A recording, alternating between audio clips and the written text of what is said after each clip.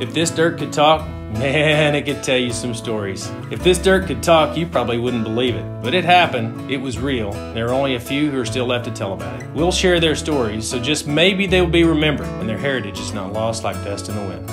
The original ranch uh, was probably 20 sections, and my grandfather added more until it was up to, at the highest peak is 36 sections. After I got hurt in football, I drove home. I drove up, and he said, what are you doing here, boy? I said, you go back and go to college. I said, no, Granddad, I don't want to. He said, I'd rather come here and work. He said, well, I'm not hired. You go back, and I'll help you finish out school.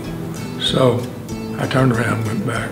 That's the biggest mistake I ever made in my life. I didn't get a degree until July or August of 70. But I, you know, I came back here and went to work and they fixed up that house, our house down there. wasn't very big, but grandmother made it comfortable, put some furniture in it and beds and stuff, so it was, it was pretty good.